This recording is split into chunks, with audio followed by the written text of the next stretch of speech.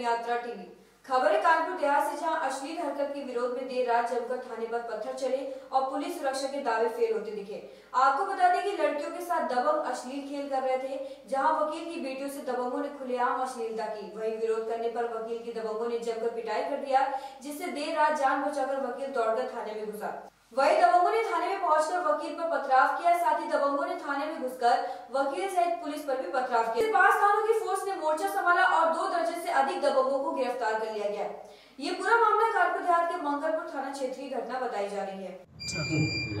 आज दिनांक 28 चार 2023 को थाना मंगलपुर क्षेत्र के रहने वाले एक व्यक्ति के द्वारा थाने में धैर्य दिया गया कि शाम को जब उनकी बेटी छत पे थी तो बगल की बस्ती के कुछ लड़कों द्वारा अश्लील हरकत उसके साथ किया गया, जिसकी शिकायत उसने घर पे की थी वे विरोध स्वरूप समझाने के लिए बस्ती में गए, जहाँ पे रहने वाले संतोष बिहार तथा उसके साढ़े पच्चीस तीस लोग, जिसमें कुछ महिलाएँ भी सम्मिलित थी, ने इनके साथ गाली गलौज करने लगे, मारपीट करने लगे तथा पत्थरबाजी भी करने लगे। कुछ पत्थर थाने थाने में के प्रांगण में तक भी आए और इस जैसे कई लोग घायल भी हुए।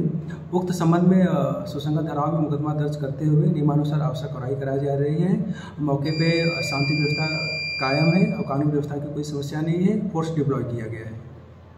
बोले सर, वो हमारे बच्चे जो है, छत पे खेल रहे थे, उसी के लिए कुछ कंजड़ों के लड़के बदतमीजी कर रहे थे, जिसका हमने विरोध किया और थाने पे सूचना दी। कि हमें भी बच्चे बदतमीजी कर रहे हैं। जब थाने पुलिस गई तो थाने पुलिस के भी ऊपर जो है पथराव किया और उनके साथ भी बदतमीजी से पेश आए। हाँ, हाँ। तो इसके बाद क्या हुआ? किसके चोट आई पत्थरबाजी में? पत्थरबाजी में हमारे भी चोट लगी हुई है और थाना पुलिस के भी कई लोग घायल हुए हैं।